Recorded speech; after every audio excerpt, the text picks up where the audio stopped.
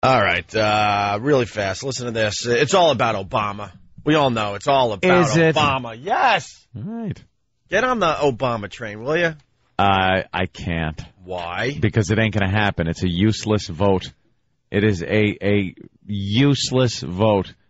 And and again, if I have to vote uh, Republican because the Democrats can't come up with a real uh, non-comedy ticket, uh, I I- I'll vote Republican again. What if Obama had an entire white staff? Who are they? See, I'm no, well. He has an entire black staff, and I think that's what's going to hurt him uh, a little Yeah. bit as well. Because you got to warm up Whitey a little bit to the idea that um, we might have a black president. You better start warming up uh, Middle America. What is it going to be a take? problem. We discussed this yesterday. What is it going to take? a white man, a white uh, man that is um, kind of uh, middle of the road, not not uh, liberal, not a crazy liberal, not a, a, a- crazy conservative, but a Democrat that isn't completely liberal on everything. That follows that Democratic friggin' line right down there, just like the Republicans follow that stupid conservative line on everything. You can't make up your own mind on individual issues. You got to buy the whole ticket. Enough. So if you know there's some guy like that, yeah, he'll be. He'll be voted in. Well, he was on Larry King uh, recently. Yeah. And by the way, it's uh, this clip's not about Obama. No. Uh, Larry King asks Obama a question. Uh huh. It's the question or the statement that Larry King makes that is very interesting. I was just saying in a little Obama talk. Of course. Doesn't mean crap to it uh, as far as what we're about to play here. I do have the answer, by the way, for the type of black man that would win presidency. It's it's not an all black staff, but he should be forced to address all white people the way Morgan Freeman addressed Jessica Tandy in Driving Miss Daisy. With that same reverence and love. That could help. I don't think his middle name of Hussein helps either, to tell you the truth. I know what's in a name. A rose by any other name. A by, a by any other. You can't have the name Hussein in this day and age and become president. Why? We can't have a president where his the name Hussein comes into play. Why couldn't Barack Obama, uh, you know, be a candidate for the 1984 presidency? Why Yeah. did it have to be this one with uh, Osama still out there? Osama somewhere? bin Laden's out there, so Osama, his name sounds like Osama. Saddam Hussein. His middle name is Hussein. Who the hell am I voting It's for? ridiculous. His last name should be Hitler. Yeah, Pete Hitler. Pete Hitler would win and we all know. this guy. And we all know, including the people listening to us right now, that America in general is uh, filled with a bunch of uh, dummies. They're gonna get. for They're the gonna, most part. They're gonna get very confused, and they're gonna really believe that they're voting for Osama. Osama bin Laden Hussein is running for what? I'm not pulling that lever. It's probably releases uh, anthrax. Right. All right. Listen to this uh, from Larry King. Just another classic, classic uh, soundbite from Larry King. then we will be with them That's as Obama. partners, but this is not something in which we can simply impose a military solution. President Kennedy wants congressional consent for this troop increase. You support that? Well, uh, my office is looking at uh, a variety of options to place some conditions on the president's actions. Uh, who? President Kennedy. Did he? Did he refer to President Bush as President Kennedy? Yeah. And unfortunately, uh, Obama didn't even. Obama should have picked up on it. Didn't even Larry. pause. Didn't you even pause. doddering old fool. It's time to retire. President Kennedy. What do you think about his troop increase in the Nam? uh, Larry. Larry, hello. It's 2007. 2007, Larry. What are you talking about? Uh, the New Deal. Are you for it or against it? What about it? The New Deal. That Woody Wilson. He's a madman. Obama, your comments. right. Obama, how do you feel about the Whig Party? you think you can hold them off in this upcoming election? Sarah, connect me to Chicago. We have a caller. Let me climb the telephone pole and talk to him. We have another call coming in over the humming wires. Stupid Larry King. President Kennedy. Obama, what's going to be done with all that land now that we've made the Louisiana purchase? Got a good deal on that from what I hear. Right. President Kennedy. Do you think you could win all 32 states? what a dope. He was off by one party and 45 years. An ass. Let's go to a Western Union from Bill in Texas. Larry, stop. What do you think about the railroads meeting coast to coast? Stop.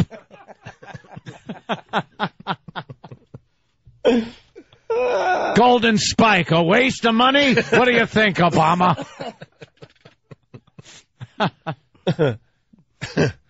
Wow. Uh, remember to post your letters to Larry King so the Pony Express could pick it up and deliver it to me. we were writing that one down. Ben had that one for you. Someone's someone is uh, writing on the instant feedback. Uh, Big duties, Jay. He's a faithful listener from Jersey. Holy ass, Larry King can speak with the dead. Yeah, that's what he's doing. I was speaking with President Lincoln the other day. But why President? You know, he needs this crap like he needs a hole in the head. But why President Kennedy? I, I yeah, what what slip up was that? How do you slip that bad? That that's not even in the ballpark. I gotta, Ain't even a ballpark. you want to hear that again, real fast? Yeah, I gotta hear it. All right. How naturally he says it and doesn't even realize he said it. Obama didn't realize, or maybe he did, and he didn't. And he's just being polite. Don't be polite. Point him out. Go, He probably that's probably it. He was being Yeah. polite. He knew what he meant. Yeah. But man, I mean, you and I would just be like, Oh, what? It's like you, we will you meant six presidents later or something like partners, that. Yeah. This is not something in which we can simply impose a military solution. President Kennedy wants congressional consent for this troop increase. You support that? So matter of fact. too. Oh my God! Wait, Obama. Sad news just in. He's been shot in Dallas. This. Oh my goodness. Kennedy's been shot. what a tool. Obama, do you get cable in that cave? just, he doesn't even know who he's talking to. Obama. Maybe he meant Senator Kennedy. Uh oh. Did- Even No, he said President Kennedy, didn't he? Oh, yeah, he said he that. said all right. President All right. Kennedy. I just start heating up like, oh boy, we're gonna we're gonna be looked like No. idiots. No, he screwed up. President Kennedy. Well, All right. Well, that's just a little quickie, and uh, of course, if we're talking about Larry King, we got to just play this really fast. It's it's a quickie, but it's one of our faves of all time. Ladies and gentlemen, here they come at the Palladium in Los Angeles. They're back together, their first live get together in five years. The Motley Crue. The Motley, Motley Crew Crue are back. I didn't even know they were gone. The Motley Crue, Ladies and gentlemen, the Benny Goodman. we got a phone call here from uh, Mr. Jack Ruby. Jack Ruby, you're on. Oh, no. the Motley Crue, and then uh, yeah, this is a good one too. We haven't played in a while. Roseanne Barr explains the internet to Larry King. I still call her uh, Roseanne Barr, by the way. The internet as a political medium, viable? Yeah, it's like the only one left. Idiot. Absolutely, and that's what that's not just me saying it. That's everybody saying But it. there's 80 billion things on it. Yeah, but if you know where to look, you know it all it all can come together. When you're looking for the particular information that you're looking for, after you do the big search, this is what I found out by going on there.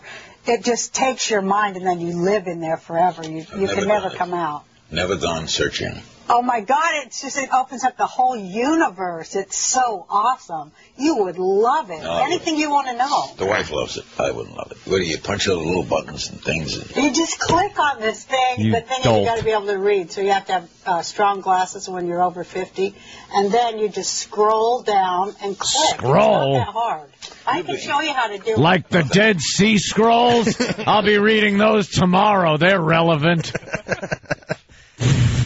How are you on CNN every night. What is the internet? You push some buttons and pull levers. It sounds like an episode of Lost in Space. Right. What is he talking about?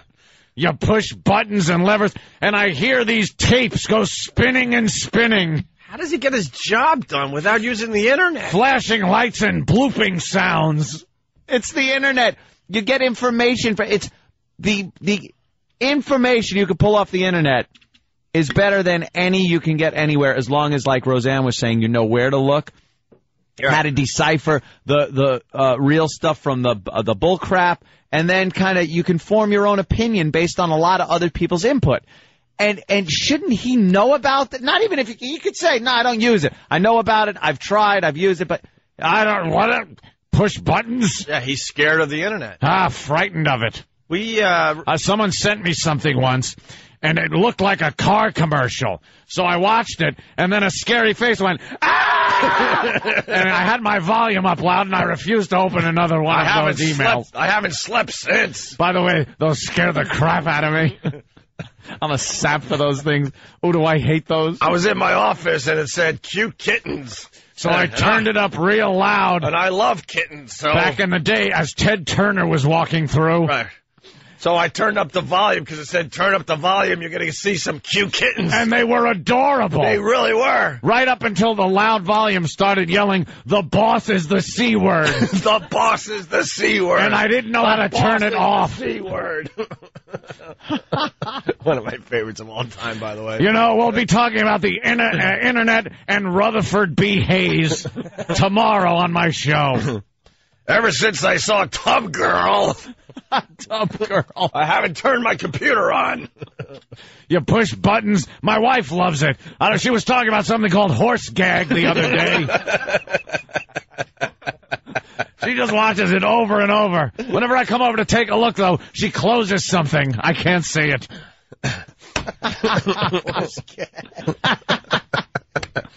oh, what a what an idiot! How could you be in media? I don't care how old you are. Stop it, old people. Especially in the media. This guy should be internet savvy. Just for this show alone, I try to read about 10 papers, you know, all the basics like Chicago Sun-Times. I get into the Philly papers, the Boston papers, the Washington papers, the New York papers. I could go on Cleveland, Dallas.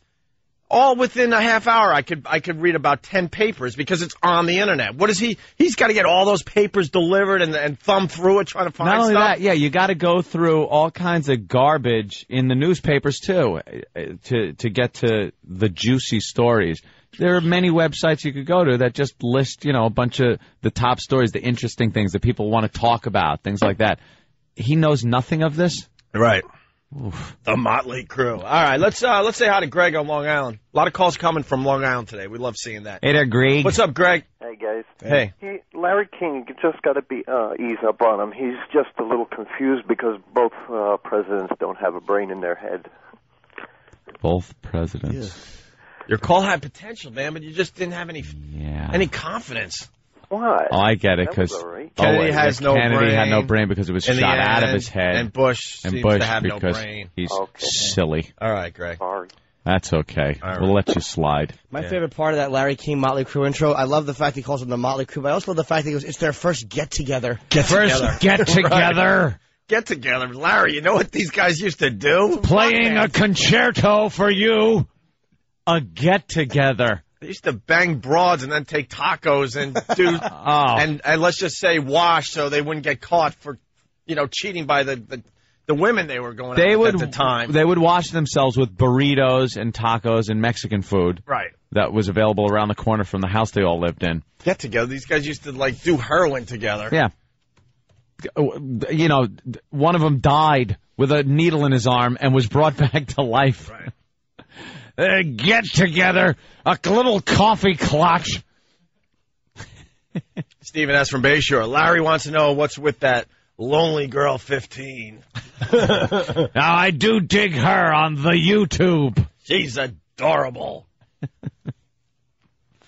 Uh, it would be great if we found out Larry was an internet predator. Larry King, you've come to this house for sex. Hi, it's LK1065. How are you? 13. Here are some pictures of me. I know how to send pictures nude. Maybe maybe that's why he's going on a show claiming he has no clue about I know internet. nothing about this, and please don't look at my hard drive. Loaded with pictures of that cute Dakota Fanning. I've got mail. I know what that means. Oh boy, they're coming in. We'll trade pics of same. Oh, whoa, whoa. There's a house in the suburbs. You want me to come over and visit? Bring some Zima and condoms? Okay, I'm in. See you there. I'm 28 years old.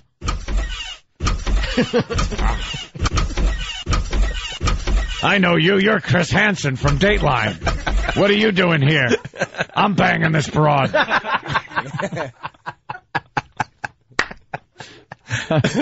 you won't believe who came into our house next.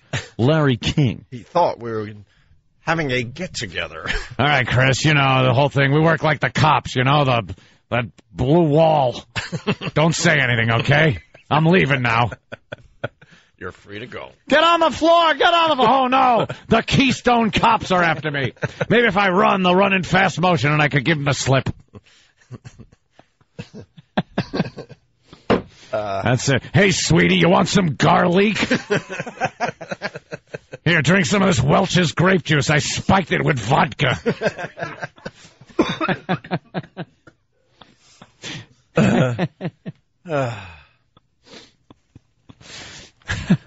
Just let me finish my cookie, Chris. and iced tea that the young lady poured me before you arrest me. By the way, everyone's saying that he meant uh, Senator Kennedy. Ah, whatever. We just uh, we got you got 20 minutes of hilarity because of because of that. I don't care if he meant senator. He said president. Yeah, Guy's a jackass. I was hoping he got the president wrong too, but all right, whatever.